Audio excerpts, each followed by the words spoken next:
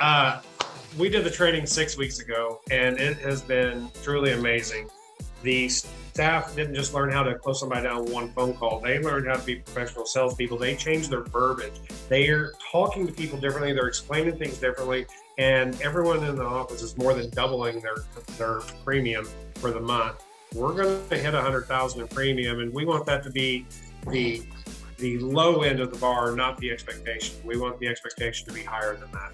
They, they see the roadmap that's out in front of them now, and they know how to turn the client back around to the script.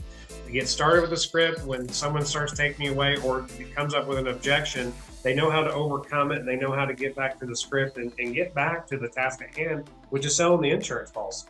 I've been through hundreds of different types of trainings, and this is the best I've seen. This has made more of a positive impact on not just my staff, but myself on how I manage my office and I set up expectations for everyone.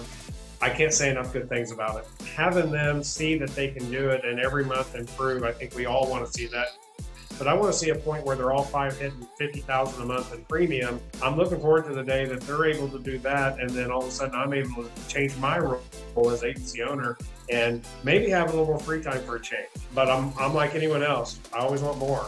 And this this class in a very very short period of time has doubled the production in the office and it's set new expectations and it's it's set more more personal professional uh, and life goals for the staff that that I don't know that they they had realistically before we did the training.